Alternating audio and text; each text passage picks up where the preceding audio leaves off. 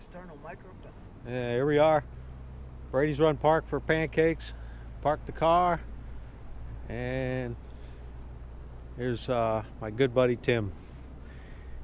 We don't see each other, but every, what, five years. Yeah. His car That's almost matches s- mine. We, that's all we can stand of each other. yeah. Other than that, we're enemies. Usually sunflower mine's a Grand Am. Yeah, here's Tim's new car. Sort of. I'll take a picture of the damaged side that he bought it with.